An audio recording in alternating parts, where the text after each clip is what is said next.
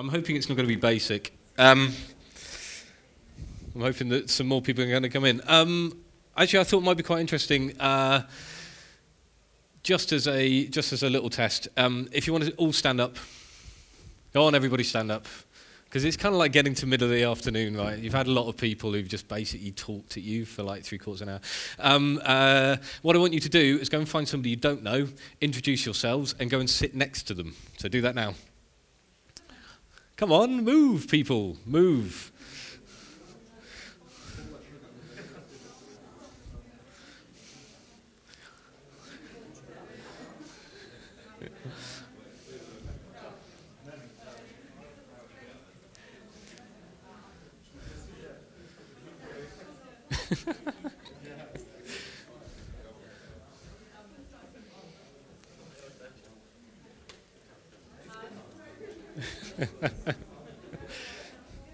see, you see how easy that was? So it was kind of nice, right?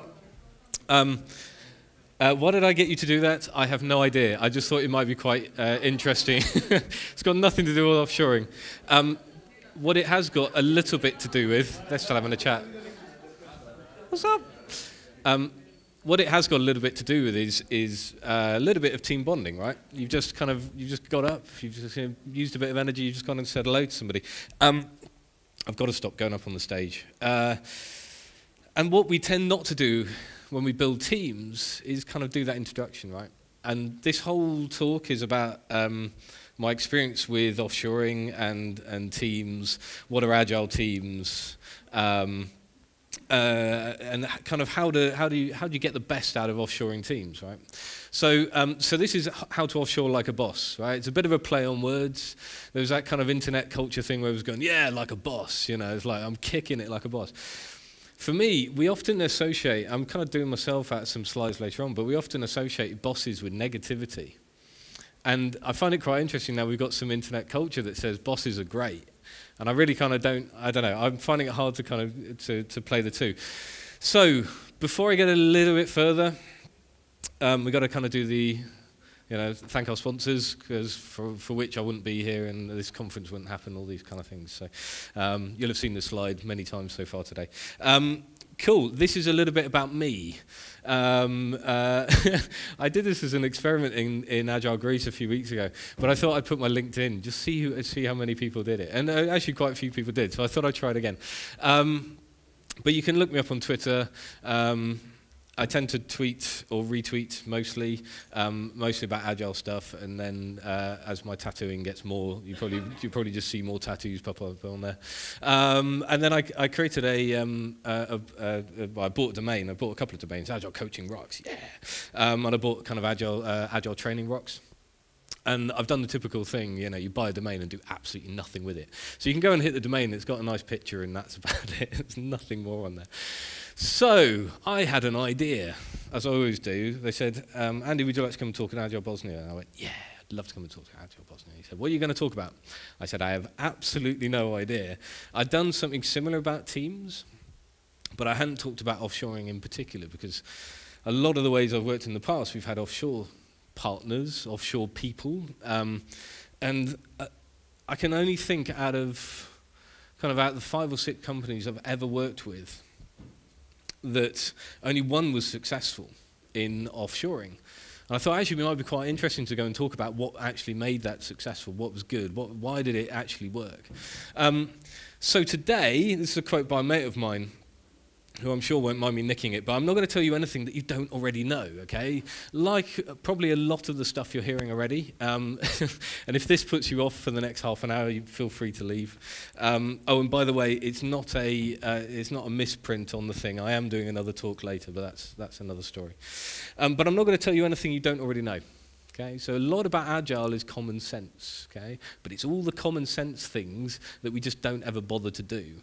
Um, you know, your your question about how do we get junior developers into into the mindset of agile, well, you just have to do it. Okay, and you have to kind of get them trained and coached, and you just have to kind of get them into it. There's no right or wrong answer, okay? So, I wanted to start simply with this stuff, right? Business and people, uh, business people and developers must work daily throughout the project daily, uh, sorry, together daily throughout the project. Okay, Statement we all know. Um, what tends to happen is we um, alienate these business people, and the developers and the, the, the, business people sit separately, and we have crazy old people from Lord of the Rings um, uh, saying, Your plans have no power here. Um, so I, I'm going to give you another one, okay? So the most efficient and effective method of conveying information to and within a development team is face to face, okay? This is exactly what I got you to do. See, I'm, see how I'm linking that random thing I got you to do? Um, but this is exactly what I got the, the people here, where I got you standing up and we got you talking, right? Face-to-face conversation, okay? What we tend to do is kind of separate, okay? And we have, we have these great boundaries of separation and communication between developers and the business people, developers and architects and you know, developers and everybody else. And when I say developers, I include the testing team and all those kind of things. But even then, we have separation within those groups. Okay? Uh, build projects around motivated individuals. Who's motivated right now?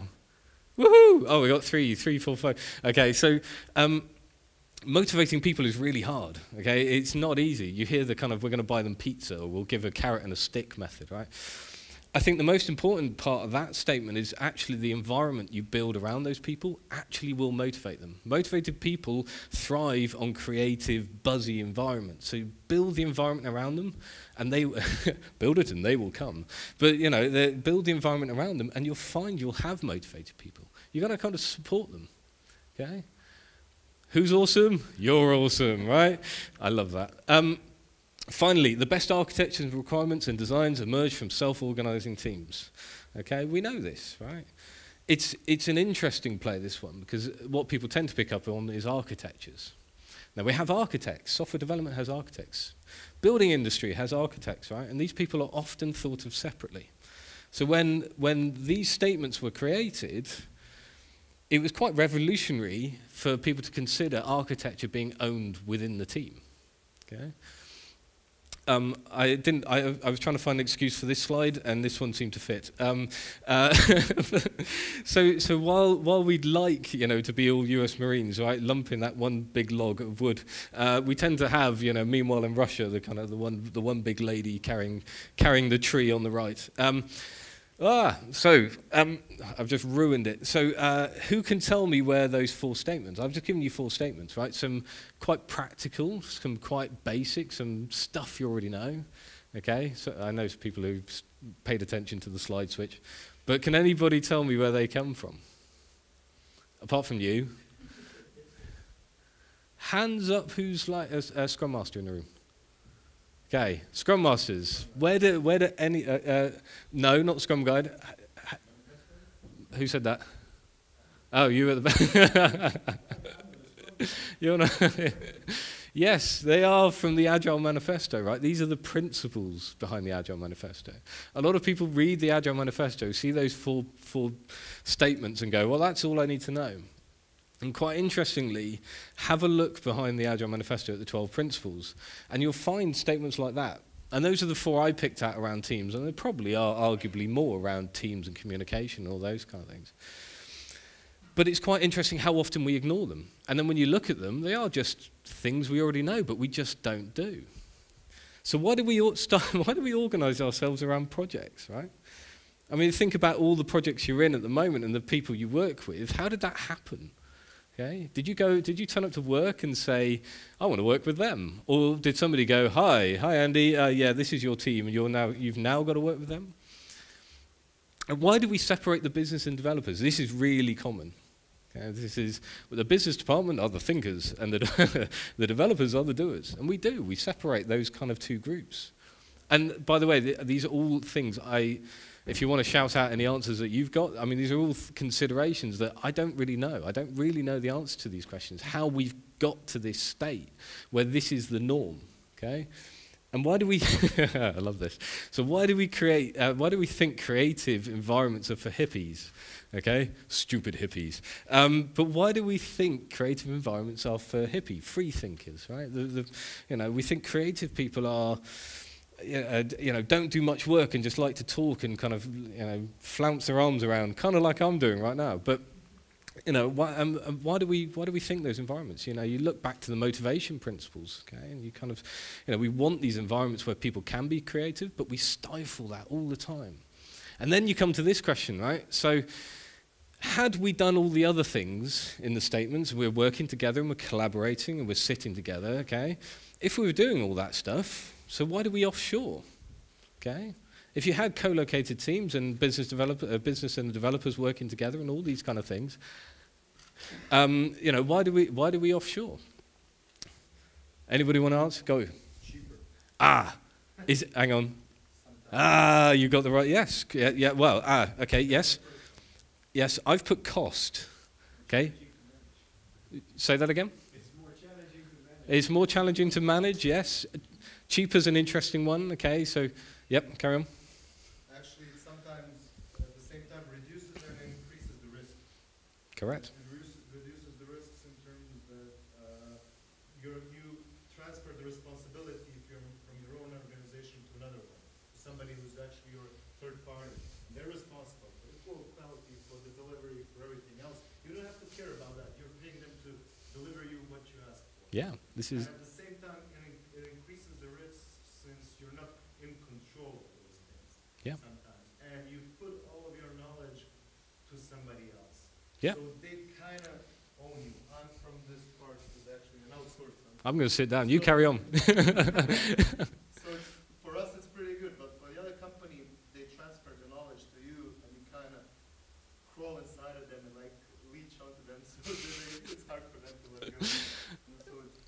So, and, and that's, uh, uh, but, uh, yes, everything you said is absolutely right. You know, we, we um, offshoring as a offshoring as a partner. I, we we were talking over lunch, weren't we, about this? And uh, we were talking about cost being cheaper, but actually, when you say cost, it actually is more costly because while it is cheaper, you may not get what you're paying for. But you think you are. You think you're going to go and do that. Then you've bought a service, right? Some people to act as a service for you, and that's it. You're doomed, right? You're committed to use these people, this company, this outsourcer. So it's a great first, okay? Space. I worked with a, I worked with a, um, uh, an organisation that basically couldn't predict their, um, uh, how much work they were going to get in. Okay, and so they had like a small office. So every time like the work that came in, they went, "Oh, we need more people." Crap, you know. And then they went and uh, bought a whole load of people offshore, you know, because they thought that was the best way of managing flex in their product cycle. Okay.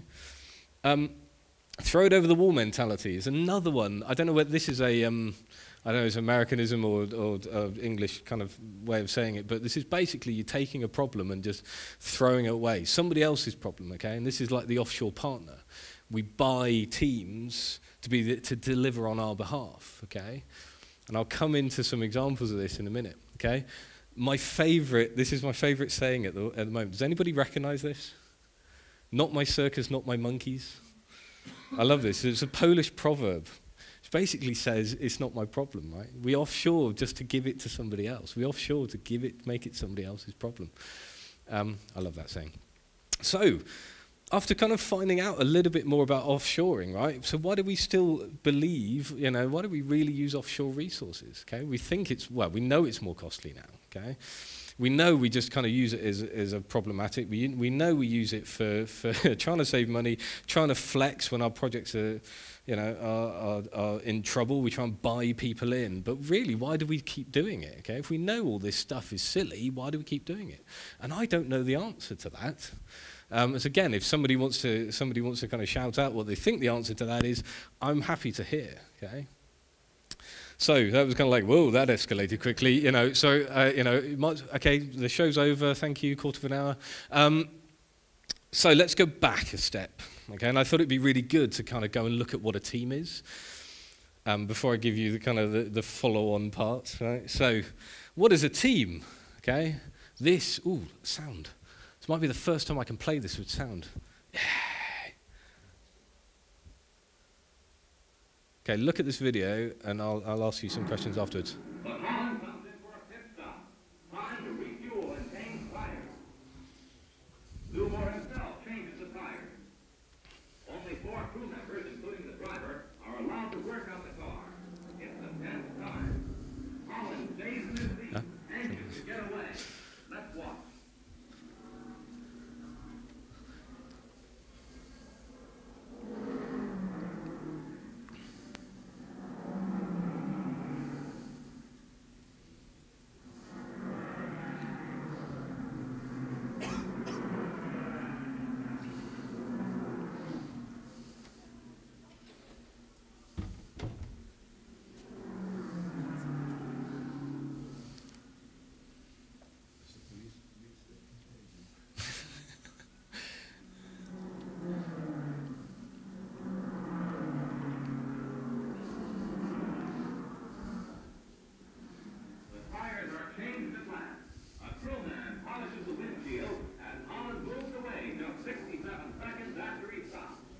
67 seconds. Wow.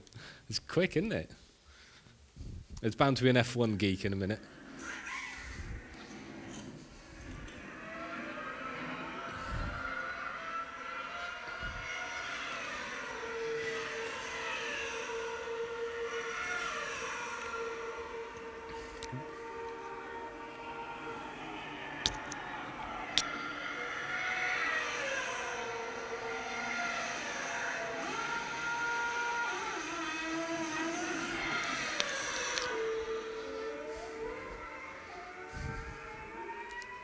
There you go. So, what is a team, right? Um, uh, so, actually, it'd be interesting. So, what is the difference between those two videos? Okay, what do people what do people notice, particularly from the first video? Speed. More, okay, more people will come on to that. Yes. What else? Hmm? Technology. Yes. What else? Hmm? Technology. Yep. A lot of free time in between the activities. It's a lot of free time in between the activities. Hmm? Organization, okay. Everyone has his own role. Specialization, optimization, right? Who felt sorry for the guy, the one guy changing the tires, right? Uh, and and but we do these things, and this is I love this video because you can talk about um, you can talk about lean concepts, you can talk about teams. There's loads of kind of optimization things you can talk about that. You can show that to anybody and say, you know, do you want to be the 1950s, you know, uh, Indianapolis team, or do you want to be the 2013? I think it was McLaren or whoever. There's always an F1 geek in the room whenever I play this that says, well, the difference between the first and the last one is they didn't refuel. It's like, okay, yes, they didn't refuel. Yes, there were more people. Are you a project manager? Okay, so, so the, the project manager answer would be, well, they've added more people. Okay? And it's true, they did. Okay? But what you can take from that between those 65 years is they've looked at the process and they've optimized, they've worked as a team, they've added specialization. Okay, it's a really interesting kind of thing to think about. Okay, what did they what, what did they want to achieve between the two things? Now, when I asked you what's changed, okay, the objective hasn't changed. Okay, the objective: get the car in, do some stuff to it. You know, okay, arguably fuel it, but change the tires. Um, uh, yeah, change the tires. I guess is the only kind of common one, right? But refuel it, you know, and get the car out and onto the track. Right, that's the objective. Hasn't changed in 65 years or wherever we are now, right?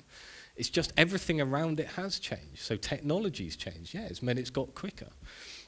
And these are the things we need to consider when we go about our kind of ways of working is, you know, technology is, is an enabler, but our actually, our objectives, you know, of building software hasn't really changed. It's just how we're going to go about it is the thing we need to think about.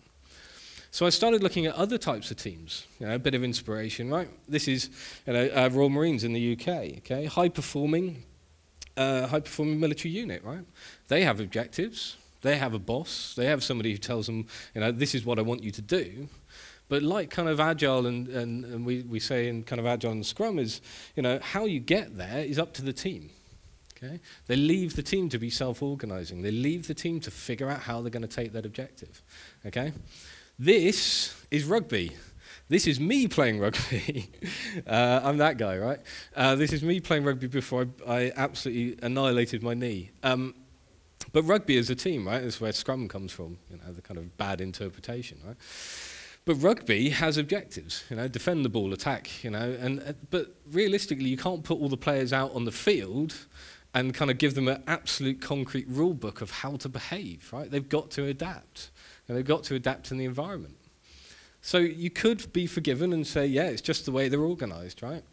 And that's a trap, right? It's not just about organization. It's not just about adding more people.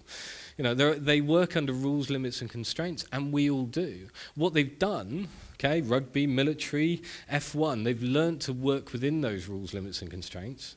Sometimes break them, okay? But more often than not, they've, they've adapted. Okay, there's a, there's a US uh, Marine saying which is improvise, adapt, overcome, which I really like. You know, when they're faced with a problem, they improvise, they adapt, and they overcome. It's kind of like slightly different to the inspect and adapt, but I like it. So, how often do we go to work feeling like superheroes? Anybody? Okay. Does anybody go to work and say, I'm going to do a really bad job today? I thought the cameraman was raising his hand then. He's just, he's just adjusting the camera. I'm going to do a really bad job of this video. Um, of course we don't. Nobody goes to work and says, uh, I'm going to do a really bad job. Okay? We'd all like to go to it, stand in front with our pants over our trousers, right? And we'd all like to kind of stand there and go, I'm going to fix that bug, you know. We'd love to, you know, this is, this is how we'd love to work, right? This is what we strive for. Yeah. want to come in, I don't know who this person is. Maybe a superhero geek can tell me. Just like, got a big mace, bash people. Um, Unfortunately, we look like this. You know, wouldn't it be nice? I do know people who have kind of got their their organisational culture and they've they've managed to get superhero days and all that kind of really fun stuff. Again, it kind of goes back into building that culture. Okay, so there must be something else going on here around teams. Okay, kind of with the kind of with the F1 stuff, right? This is specialization and creativity and clear goals. The goal hasn't changed in the F1. The goal doesn't change in rugby. The goal doesn't change, right? We let our goals slip within software development because we can't make up our minds. We can't make a cl clear decision about products. All these kind of things play into it. So, the kind of the title of this is like you know uh, um, offshore uh, how to offshore like a boss. So um, who's the boss, right? We have these people called bosses or managers, right? Um, and we'd love, we'd love our bosses and managers to look like this, right? We'd love them all to be Hannibal and kind of smoking a big fat cigar and go, yeah, what on team? You know, who's awesome? You're awesome. Right? But often, okay, we get the Ron Burgundy, which is, you know, I don't know, I don't know how to put this, but I'm kind of a big deal, right? You know, it's like you will do exactly as I say. You know, the leadership, the leadership element just goes, right? We don't get that kind of love and feedback from our bosses that we like, okay? Failure. I love this. Well, there's no I in team, there's a you in failure. Um, and this is, I, I, used to call this the blame train. So there was a project I worked on where uh, the management were, were very adamant that whenever a problem hit, they'd go and blame somebody for it. And it was like you could just see this escalation in emails coming through. And I used to say, oh, the blame train, you know, doo -doo, the blame train's coming down. Somebody's going to get on board. But, but bosses, you know, we act like there is blame. Okay? How do, why do we blame? This goes back to this whole kind of motivational principles, the carrot and the stick, right? The donkey eats the carrot, we beat it with the stick. Why do we do these things? Um, and this is my, this is my uh, first, first experience in management. When I thought, what I thought management was, you know, what I ended up doing. You know, one of my first jobs, my, my first management job, I, I looked after a team of very creative people. Um, and I thought my job was to kind of herd them. it was to kind of corral them in the direction that I thought they needed to go. Um, and I, I, just used to call it herding cats after a while because it just felt like they, they hated me. And I didn't really understand why they hated me until I kind of figured out that actually they don't want, the, you know, they're creative people. They don't want to be herded. They don't want to be told what to do. They want some direction. They want some kind of objective to go and hit. And they just want me to support them.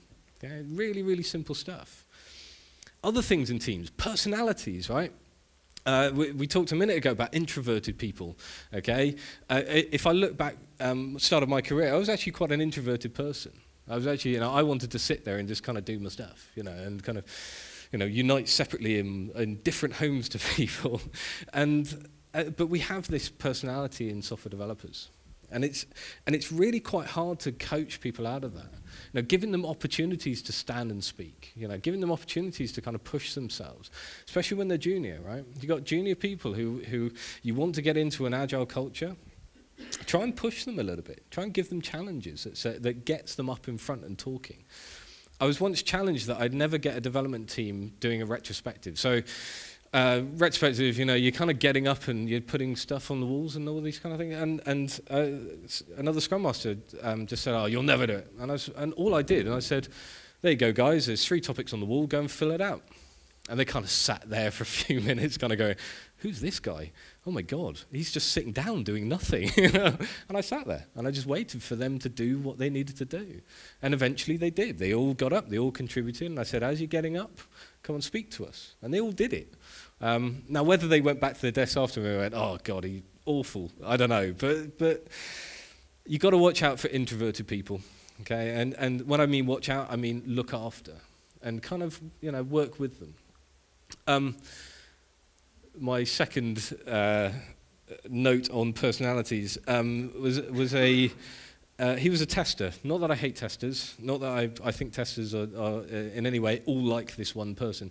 But there was one guy on a team, um, and uh, he would block. He thought he felt it, it was his goal to block all the development. So he thought, you know, my job is to protect everything, regardless of whether the product owner said it was a good job. Okay, the product owner was like, yeah, I'm, I'm really happy with this product. and this tester was like, no, not to my standards. It's, it's not going anywhere. And the product owner was like, no, it's my money. You know, I'm paying for you. It's good enough, right? So there was a huge conflict. Burn down was just like flatlining because there was no resolve, right? Even though the team were doing a good job with running tests and all that kind of stuff, there was no resolve.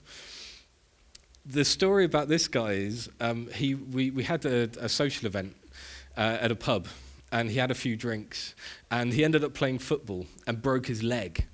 And so the next day, when he didn't come in, we were able to close off all, all the stories that he wouldn't let you know go and let, let the team complete. And the productivity and the motivation in the team was great because suddenly they were achieving. And they weren't, there was no detriment in quality. They were still building a quality product, but they, we eliminated you know, in one, in one way or another, we eliminated something that was blocking the team. Uh, and I, I stick my hand up. I had nothing to do with his broken leg, I, I promise. And I wouldn't advise this as any tactic, right, for, for dealing with these people. So, we're here at an Agile conference, okay? What's an Agile team?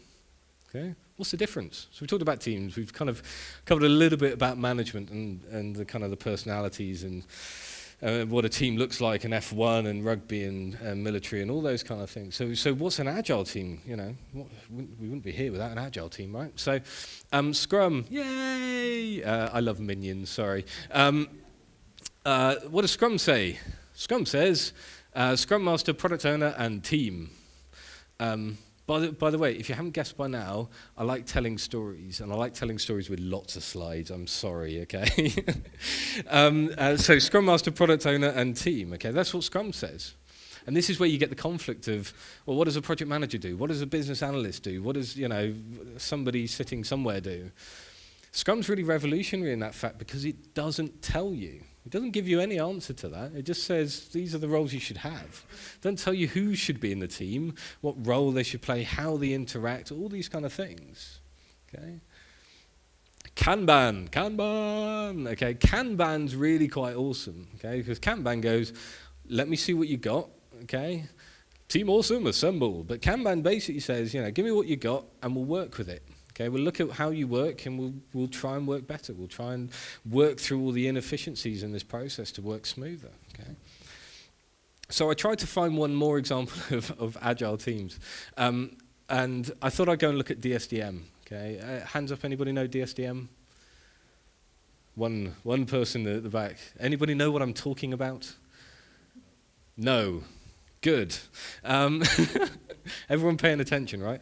Um, uh, is, a, is an agile, another agile framework. It could even go as far as being called a methodology. Okay, in so much that it's very, very prescriptive. It's kind of on the it's on the waterfally scale of if you're going to look at a, a prescriptive agile framework, it's it's on that waterfally scale. Um, so I tried to find something, some funny meme, right? I've tried to find something funny about DSDM. Um, and what I realized is there is nothing funny about DSDM. Um, and I, I, thought I'd bring up the, the picture of what DSDM's uh, team framework looks like. Um, until I showed it to somebody, I showed it to another agile coach, and he said, "Andy, don't you realize this is the alien baby?" Uh, and I went, "Yeah, actually, that, that you know, you look at it like an alien baby. That is quite funny, right?" But DSDM is, is kind of crazy, and it has all these people like a workshop facilitator and a solution tester and a I don't know, you know, it's just it just this again just doesn't fit in our world, right? It doesn't fit in our traditional transformation waterfall process world. You know, it's revolutionary again. No wonder people have trouble with agile and moving that way. So, we're kind of flying actually. So, is offshoring different? Okay. Is offshoring any different in terms of teams, in terms of people, in terms of culture, in terms of you know, our understanding of what teams do and how they work and all this kind of stuff? And no, they're not different, okay? But we do it wrong. I don't know whether that's exactly grammatically correct, but we do it wrong or do it badly or however else you want to say it, right? So when you look at the Agile Manifesto and it says individuals and, oh, hang on, because what we tend to do is we have a product owner here, you know, with their backlog and a team, okay? And then we buy in some people. You know, we go and buy one guy, we go and buy two guys. And this is actually how an organization I worked for worked, right? They would just go and buy, when they needed to flex and scale, they would just go and buy one or two people, okay? Now, what you end up with is managing it through tooling. Okay? So you have this let's hide behind the internet thing, which is, which is genius because it knocks out all that good stuff about communication. It uh, people start falling back on communicating through tools like Jira. And we forget about really good things like Skype. You know, and we'll use Trello to communicate. And that's, uh, it's just not an excuse. You know, because everything I've kind of talked to you so far about have been co-located teams, teams that work and function together. You can't have a Royal Marine team or an F1 team, right? Half of them sitting in the pit lane. You know, t- a car comes in, it's like, change the tyre. Well, I'm over here. You know, I can't change that tyre. You know, we know teams need to be together to succeed. It's really obvious. Okay? We've been offshoring for, for decades when you think about it, right?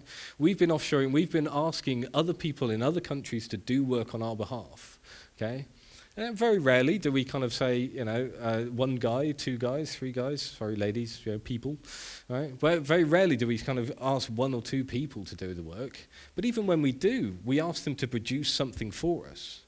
We never say, hey, we're going to build a ship in the UK. We want you to build this one really, really specific part on your own, okay? Never test when it integrates, never find out, and then just ship it to us when we think we're going to we're going to hit our integration, right? We don't work like that. Okay? We haven't done for centuries. So, distributed teams, okay, are, look like this. We have a product owner with, with the product backlog, and we have Scrum uh, sprint backlog, excuse me. And this is, the, this is the example, right? We have one guy sitting there and two people sitting somewhere else. And what happens with communication? Ooh, uh, sorry, uh, what happens with communication? It goes nuts, right? Because you have all these, all these people trying to talk to each other to deliver against these two sprint backlogs, you know, against that one product backlog, and you end up in a mess. You end up in this horrible mess where you can't actually succeed. Okay? Or if you do succeed, it's with a lot and lot of work. So, I am flying through this actually, I have to say. You're going to get a nice break in a minute. Um, so, I did say at the start, I'm not going to tell you anything that you don't already know. Okay? Well, apart from this, okay? How do you offshore like a boss? Okay? You don't do it. Okay? If you're going to offshore, you don't offshore. And what I, what I mean by this, I mean, if you're going to offshore, but if you have to, offshore with a purpose. Okay? Now, what I mean by this is offshore as a team. Okay? Have a team sitting somewhere offshore that delivers together, has its own control, its, has its own autonomy, has integration with all the tools and stuff, but you don't buy in those one or two people just because you need to flex, just because you need to scale. Okay? If you have to offshore. Okay? Co-location as a team. All the examples I've given you, people sitting together, right? If you're a team today, you know, you're all sitting together, right? People who would be listening in on Skype might not get the same vibe that you guys are getting, you know, in front of me. Like, oh God, when's he going to finish? You know, but you know, you need to be co-located to succeed. We know this stuff. There's nothing new about this, right? They need to be self-autonomous. They need to have the ability to make their own decisions. They need to have the ability to guide their own future, to manage how they're going to achieve that objective. You think back at the kind of the F1 in the 1950s example, right? Was it really essential that they polished, polished the framework of the car? You know, was it really essential? You know, a self-autonomous team might give that, you know, the guy who's over polishing the car a clip round the back of the ear and say, "No, you get on with changing the other tire." You know, you never know. Trust, big one. Okay, you got to trust your teams. Okay, if you have to offshore, you got to trust them to deliver. Okay. the negative for this is you can't put them under any penalty clause. Okay, so if you buy an offshore team, you can't say, you know, if you don't deliver, da, da, da, right, something bad's going to happen to you because you're instantly breaking trust. Okay, All teams fail. So you've got to expect if you buy an offshore team, they're going to fail as well, right? It's how you manage that and how you build the trust is the essential part of all this. yeah? So what you should do is end up with a model that looks more like that. Okay? Product owners in every location, sprint backlogs in every location, working off a product backlog. Okay? I can't remember there's a, no. Well, actually, it does go into maximize communication. But the trick here is maximizing the communication for this. Okay? Product owners all talking, Scrum teams having some coordination meetings, Scrum of Scrums, right? I've seen plenty, plenty of organizations that work with offshore partners where they work in this model and really, really successfully. And the great thing is, where they had, I mean, I haven't got a kind of, this assumes that the Scrum Master's in here, but realistically, I've seen great uh, examples where you have, a, you have a central Scrum Master, a Scrum lead, and he just coordinates everything else that's going on. So he introduces the teams to each other. He makes sure that they're, they're working okay, that their you know, environments are all there, you know, over and above everything else they're going on. He looks after and he nurtures. It's that coaching, okay? He's there to ensure that this, this kind of model works for the organization and works for the product. So maximize the communication. Look for Scrum of Scrums opportunities. Look for um, uh, tooling, you know, and use things like Skype. There's a great example um, uh, of, a, of a team in IBM well, what they did is they had a, they had a monitor with a, a webcam with, with Skype running uh, 24 hours a day. Okay, so when they left the office, they'd wave to the team offshore, and the team was were self-autonomous, right, their own team. And they, they used to leave it open. So all day, if anyone wanted to talk to the other team, they could just kind of knock on the camera and like you know wave and then somebody else it's like a window into the other office right? Somebody you know kind of come along and wave back. And it got to the point apparently where they just used to kind of randomly shout jokes at each other through this, through this window and they used to celebrate birthdays and all these kind of things. And they built a really good culture by having that face to face right? Think back at the principles right? Face to face communication and we have tools around us now, you know, and we don't use these things. And it's, I just think it's a real, real shame. Tools. I've just outdone myself with a slide. So, the final point um, is bring offshore onshore. Um, we used to do this a lot where when we did buy offshore partners, okay, and we, we used to have teams, we used to bring them over to the UK for a couple of weeks get to know the team, right? It's almost like that Skype in a window thing, but actually physically, right? We used to go and take them out for some food and welcome them. And you know, so when you talk to them on the phone, when you couldn't do webcam chats, when you couldn't do all the really kind of cool things, whenever you introduced yourself, they go, "Oh yeah, no, yeah, you're the guy I met," you know. And we built that relationship, we built that trust. Five minutes, amazing. Um, we built that relationship and we built that trust with them you know, instantly because they got to know us physically in person. Well, not physically, that just sounds a bit weird, doesn't it? um, but we got to know them personally, you know, really personally. It was really good. You know, it was a, just a really good thing. So, if all else fails with your offshoring and you have no choice and you don't do all this, I want you to remember um, old man with beard, uh, Darth Vader, uh, who's awesome, and um, big Russian lady. So that was, with a bit of time to spare, uh, how to offshore like a boss. Um, I'll take questions, thank you. what do you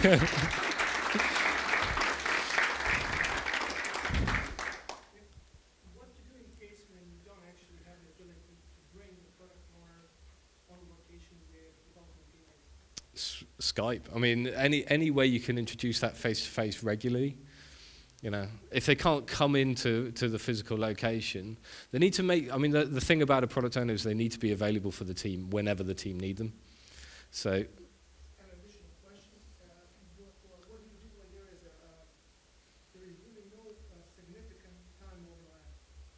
oh, so you, so somebody said to me recently. They said. Um, longitude hurts, latitude kills. I think it was one of the two, right? And it was all it was all about that, that time switch and how you manage those kind of things.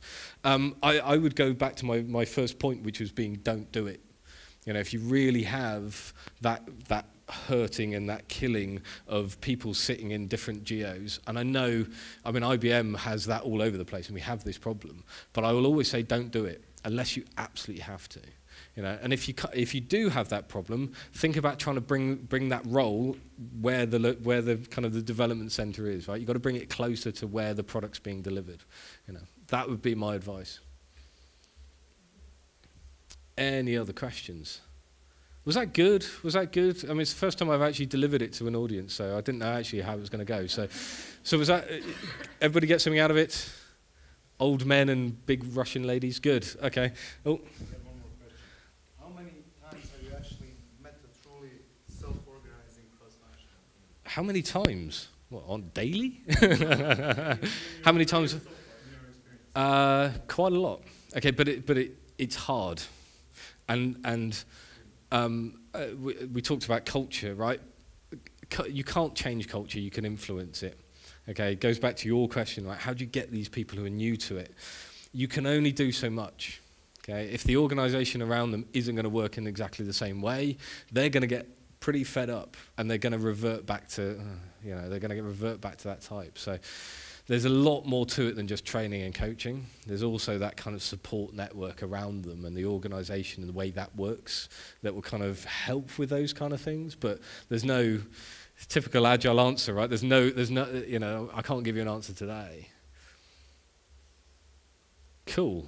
I'm going to stop talking get a cup of tea. I am talking a bit later um, on a completely different subject, but there are like two or three slides which are the same. So you can laugh again if you want to turn up later, but thank you very much. Oh, there. Lovely. Thank you very much.